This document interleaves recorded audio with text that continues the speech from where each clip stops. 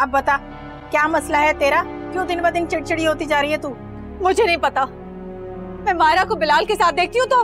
तुम ऐसा करो मैंने तुम्हें अभी तक शादी का गिफ्ट भी नहीं दिया। तुम और मायरा मरी हुआ एयर टिकट और स्टे हमारी तरफ़ से। अभी से आप बहू का रिवाव खुलवा देंगी ना पछताएँगी। भूल जाओ उसे। अरे आखिर तुम्हें लड़कों की कोई कमी है क्या? आनी आपको अंदाज़ा नहीं है एक लड़की के लिए रिजेक्ट होना कितनी बड़ी एम्बेरसमेंट है। और मैंने हारिस से मोहब्बत की थी। लेकिन उसे मेरी कदर ही नहीं करी और मैं उसे इस चीज़ के लिए कभी माफ़ नहीं करूँगी।